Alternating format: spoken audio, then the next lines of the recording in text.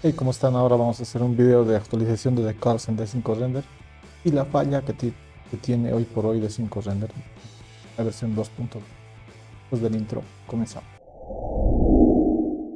Y bien, nosotros en el canal ya tenemos un video de decals, de cómo generar tus propios decals, pero en la versión 2.2 eh, los, de, los, de D5 han metido decals que están por acá.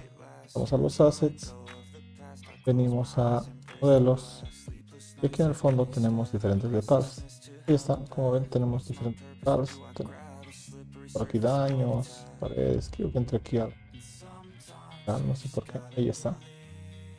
Bueno, entrando aquí a decals, eh, tenemos los diferentes decals y obviamente hay algunos que son gratuitos y otros que están de paga.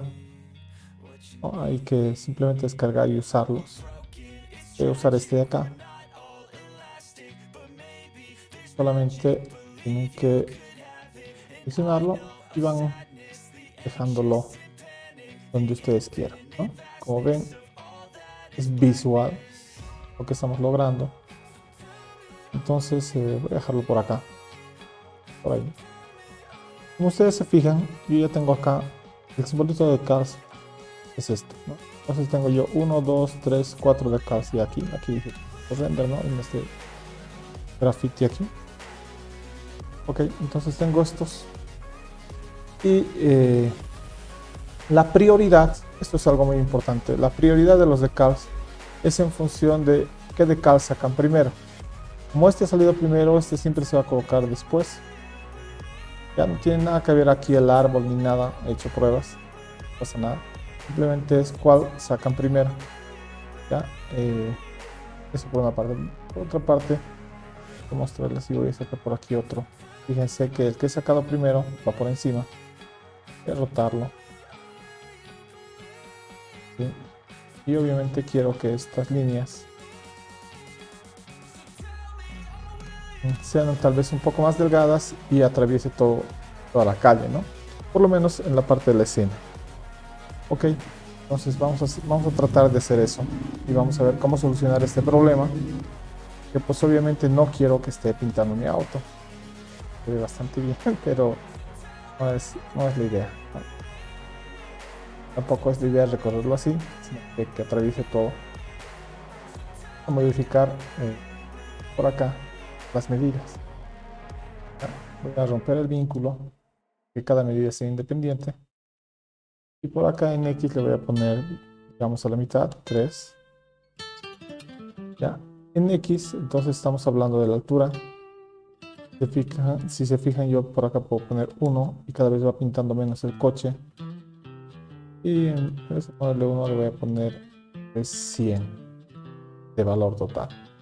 Ahí está, entonces está completamente solamente en la superficie. Está solucionado esto. Ahora por acá le voy a poner a la mitad 3. Esto en 12, lo que sea más largo. Y aquí sí a la mitad 3. Digamos, quiero que sean más pegadas las líneas. Exacto. Tal vez por acá con un 24 este. Y así admite modificaciones de acá ya tendría ya completo por acá esta parte ya no sale en el render no, se olviden que entramos por acá en cambio el aspecto funcionado que vayamos colocando y generando esto en en uno a uno entonces no me va a salir nada de esto ya, ya lo tengo a volver a al espacio de trabajo ahora Está muy muy sencillo utilizar estos decados. Recuerden que a medida que van sacando es su prioridad. Quieren colocar uno sobre otro, entonces quieren que la tapa esté pintada ahí.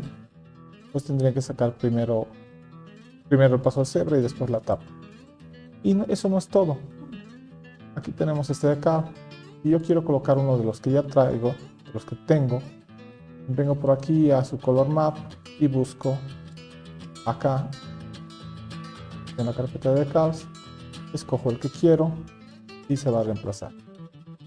Perfecto, esto simplemente habría que acomodarlo porque el graffiti lo cogí un poquito y voy a ir a hacer más pequeño.